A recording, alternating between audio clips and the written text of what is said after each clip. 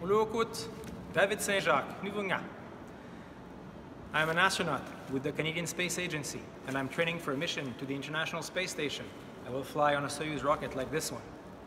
Avant d'être astronaute, j'étais médecin dans le Grand Nord du Québec, un endroit que j'ai adoré, très beau, avec des gens extraordinaires, les Inuits.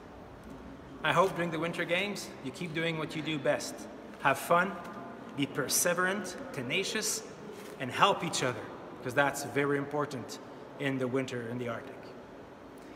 Tinha Solakusi.